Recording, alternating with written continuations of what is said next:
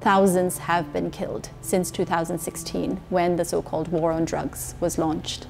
We've also managed to document the killings of at least 248 human rights defenders, journalists, trade unionists, and lawyers in relation to their work.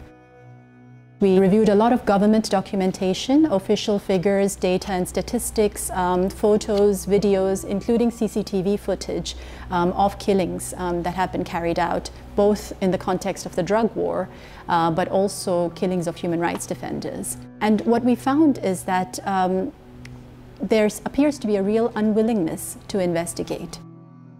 When the campaign against illegal drugs was launched, um, it was launched through a command circular that laid out how police operations should be conducted. Now, this circular contained a lot of language that almost encouraged violations of due process. Terms such as negation and neutralization of drug suspects were used. This ominous sounding language was never really defined in this command circular, but this language, coupled with verbal encouragement at the highest level of government for police to kill drug suspects, may have been interpreted as permission to kill. We've examined 25 police reports which strongly suggest that guns were planted on drug suspects who had been killed. We also looked at 22 other reports um, which show the use of cut and paste language in post-operative um, investigations um, into such killings, which seemed to show that these reports were not filled out um, with integrity. In the 25 reports that we examined, the serial numbers of guns that were found on the drug suspects were exactly the same, which suggests that these guns may have been planted on the drug suspects who had been killed in the aftermath of the killing to make it look like the killing took place in self-defense. Now this is obviously very worrying.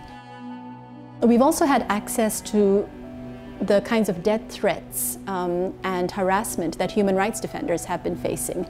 These include posters that are plastered across, uh, for example, Negros Island, where human rights defenders are called terrorists. Um, they are red tagged and they are equated with the terrorist wing, the armed wing of the Communist Party.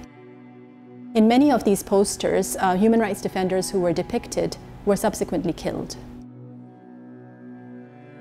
Given the scale of the killings and other human rights violations that this report has documented, and given the failure so far of domestic remedies from bringing to justice the perpetrators, the High Commissioner is calling for an independent investigation into the situation, into the human rights violations in the Philippines.